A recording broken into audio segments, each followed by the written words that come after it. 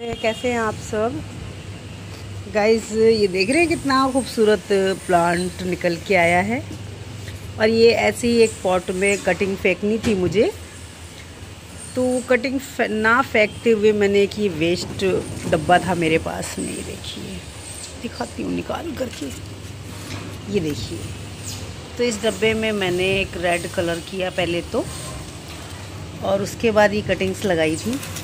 तो अभी ये देखिए कितना खूबसूरत लग रहा है। लग रहा है ना? ये देखिए। तो इस तरीके से गार्डन में आप वेस्ट चीज़ों से भी अपनी गार्डनिंग का शौक़ पूरा कर सकते हैं गाइस और और एक बॉटल मैंने कट करी थी देखिए। ये बॉटल कट करके पेंट कर रखा है मैंने, वाकई। ये बॉटल को मुझे तीन साल हो गए पेंट करे। और मैंने इसमें अभी कोलेस लगाया जो कि बहुत ही खूबसूरत लग रहा है।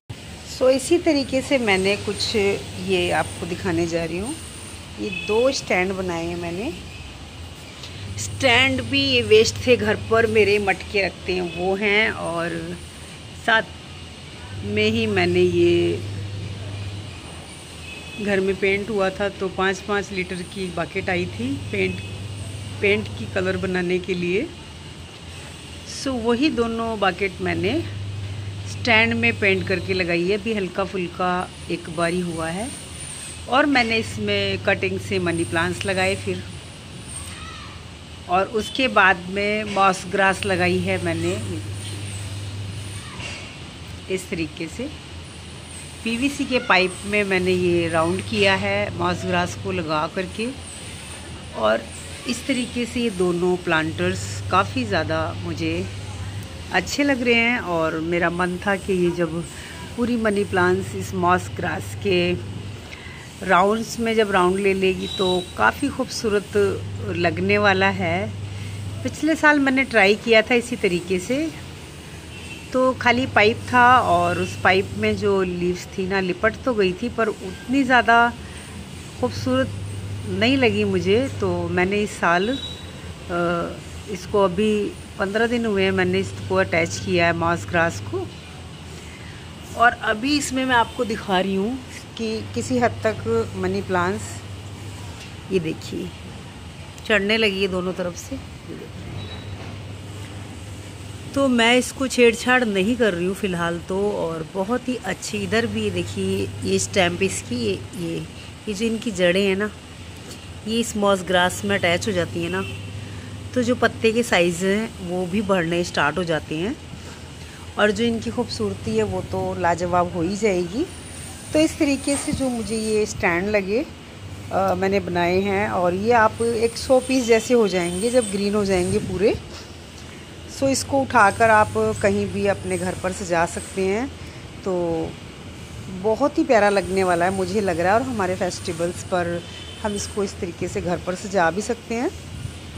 और बहुत ही प्यारा लगने वाला है, मुझे लगता है। और आपको कैसा लगता है, आप मुझे ज़रूर बताइएगा। आप भी इस तरीके से पॉट अपने रेडी कर सकते हैं। अपने जो ओरिजिनल प्लांट्स हैं, उनको अगर कुछ डी करके अगर आप बना सकते हैं तो बनाएँ, क्योंकि ये डीआईवाई करके ही मैंने इस तरीके से बनाया है और मुझे काफ़ी सुंदर लग रहा है। थोड़ा सा पेशेंस तो रखना पड़ता है हम गार्डनर्स को बट जब इनके रिज़ल्ट निकल के आते हैं ना बाय गॉड बहुत ही ज़्यादा खूबसूरत लगते हैं। सो मैं अभी लगभग हो रहे पंद्रह बीस दिन मैंने इसको जब बनाया है और इसमें मैं आपको दिखाऊँ, मैं जब मॉस ग्रास का डंडा निकाला ना मैंने, उसके बाद इस पाइप को इंसर्ट करने की कोशिश करी।